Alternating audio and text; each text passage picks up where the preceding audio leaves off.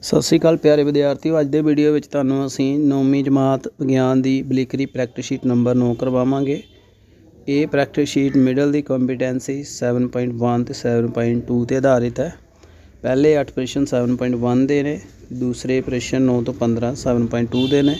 7.1 competency scientific vocabulary communicate science accurately ਗੱਲ ਕਰਦੀ ਹੈ ਵਿਜ਼ੂਅਲ ਇੰਟਰਪ੍ਰੀਟੇਸ਼ਨ ਤੇ 7.2 ਜੋ ਹੈ ਮਾਡਲ ਦੇ ਬਾਰੇ ਗੱਲ ਕਰਦੀ ਹੈ ਮਾਡਲ ਦੇ ਆਧਾਰ ਤੇ ਕੁਐਸਚਨ ਨੇ।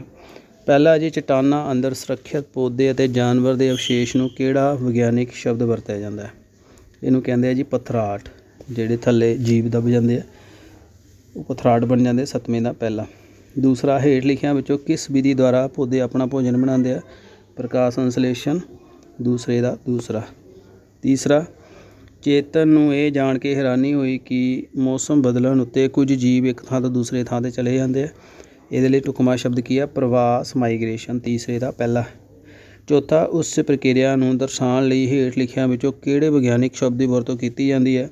ਜਿਸ ਦੁਆਰਾ ਕੋਈ ਜੀਵ ਆਪਣੇ ਆਪ ਨੂੰ ਵਾਤਾਵਰਣ ਦੇ ਅਨੁਕੂਲ ਕਰ ਲੈਂਦਾ ਹੈ। ਇਹਨੂੰ ਕਹਿੰਦੇ ਆ ਅਨੁਕੂਲਨ, ਅਡਾਪਟੇਸ਼ਨ ਚੌਥੇ ਦਾ ਤੀਸਰਾ।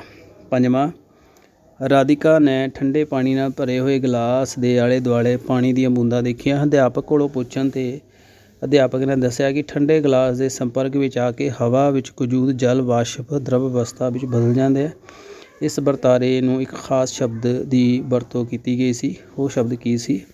ਇਹਨੂੰ ਅਸੀਂ ਕਹਾਂਗੇ ਸੰਗਣਨ ਕੰਡੈਂਸੇਸ਼ਨ। ਪੰਜਵੇਂ ਦਾ ਤੀਸਰਾ। ਛੇਵਾਂ ਪੌਦਿਆਂ ਅੰਦਰ ਪੱਤਿਆਂ ਦੇ ਵੱਖ-ਵੱਖ ਭਾਗਾਂ ਤੱਕ ਪਹੁੰਚਣ ਦੇ ਪ੍ਰਵਾਹ ਨੂੰ ਕੀ ਕਹਿੰਦੇ ਆ? ਸਥਾਨਾਂਤਰਨ ਟਰਾਂਸਲੋਕੇਸ਼ਨ ਛੇਵੇਂ ਦਾ ਚੌਥਾ। ਨਾਰ ਤੇ ਮਾਦਾ ਯੁਗਮਕ ਦੇ ਸਮੇਲ ਨੂੰ ਕੀ ਕਿਹਾ ਜਾਂਦਾ ਦੋਨੇ ਗੈਮੇਟ ਜਦੋਂ ਮਿਲਦੇ ਇਹਨੂੰ ਕਹਿੰਦੇ ਆ ਫਰਟੀਲਾਈਜੇਸ਼ਨ ਨਿਸ਼ੇਚਨ ਸੱਤਵੇਂ ਦਾ ਤੀਸਰਾ। ਅੱਠਵਾਂ ਅਰਸ਼ ਨੇ ਵਿਗਿਆਨਿਕ ਪ੍ਰਯੋਗਸ਼ਾਲਾ ਜੋ ਹੈ, ਉਹਦੇ ਵਿੱਚ ਚਿੱਤਰ ਦੇਖਿਆ, ਜਿਸ ਦੇ ਭਾਗ ਨੂੰ ਲੇਬਲ ਨਹੀਂ ਕੀਤਾ। ਸੋ ਇਹਨੂੰ ਲੇਬਲ ਕਰੋ ਜੀ ਕੀ ਹੈ? ਇਹ ਜਿਹੜੀ ਸਿੱਧੀ ਲਾਈਨ ਨਿਕਲਦੀ ਹੈ 90 ਡਿਗਰੀ ਤੇ ਇਹਨੂੰ ਅਸੀਂ ਅਭਿਲੰਬ ਕਹਿੰਦੇ ਆ ਨਾਰਮਲ ਅੱਠਵੇਂ ਦਾ ਤੀਸਰਾ।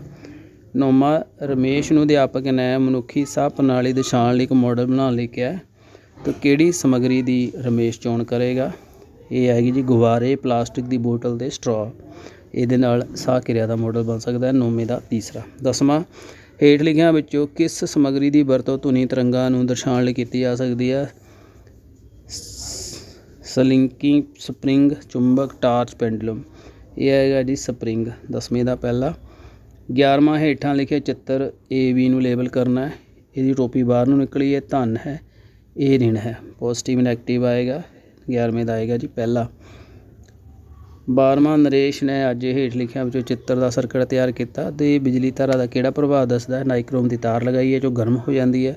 ਸਰਕਟ ਜੋੜਨਾ ਹੈ, ਬਿਜਲੀ ਤਾਰਾਂ ਦਾ ਤਾਪਨ ਪ੍ਰਭਾਵ ਹੈ 12ਵੇਂ ਦਾ। ਦੂਸਰਾ 13ਵੇਂ ਦੇ ਆ ਜੋ ਹੇਠ ਜੋ ਦਰਸਾਇਆ ਗਿਆ ਚਿੱਤਰ ਹੈ, ਕਿਤੋਂ ਪਤਾ ਲੱਗਦਾ ਕਿ ਦਰਬ ਦੀਵਾਰਾਂ ਤੇ ਦਬਾਅ ਲਾਉਂਦੇ, ਪਹਿਲੇ, ਦੂਸਰੇ ਜਾਂ ਦੋਨਾਂ ਤੇ? ਦੀਵਾਰਾਂ ਤੇ ਜੋ ਦਬਾਅ ਲੱਗਦਾ ਹੈ, ਉਹ ਸਾਨੂੰ ਪਤਾ ਲੱਗੇਗਾ ਦੂਸਰੇ ਚਿੱਤਰ ਤੋਂ, ਠੀਕ ਹੈ? ਕਿਉਂਕਿ ਸਾਈਡ ਤੇ ਗੁਬਾਰਾ ਫੁੱਲ ਰਿਹਾ, ਇਹਦਾ ਹੈਗਾ ਜੀ ਦੂਸਰਾ। ਉਹਦੇ ਬਾਅਦ ਆ ਜਾਓ ਜੀ ਚੌਥਾ 14ਵਾਂ ਇਹਦੇ ਵਿੱਚ ਚੁੰਬਕ ਨੂੰ ਲਟਕਾਇਆ ਗਿਆ।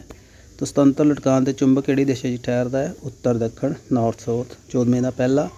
ਲਾਸਟ ਪ੍ਰਸ਼ਨ ਡਾਕਟਰ ਦੁਆਰਾ ਦਿਲ ਦੀ ਧੜਕਣ ਸੁਣਨ ਲਈ ਆਮ ਤੌਰ ਤੇ ਕਿਹੜੇ ਯੰਤਰ ਦੀ ਵਰਤੋਂ ਕੀਤੀ ਜਾਂਦੀ? ਸਟੈਥੋਸਕੋਪ ਥਰਮਾਮੀਟਰ ਐਕਸ-ਰੇ ਅਬਤਲ ਦਰਪਣ।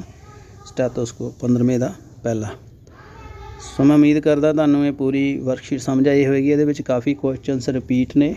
8ਵੀਂ ਦੇ ਬੇਸ ਤੇ ਕੁਐਸਚਨਸ ਨੇ। ਮਿਡਲ ਦੀ ਕੰਪੀਟੈਂਸੀਜ਼ ਹੈ।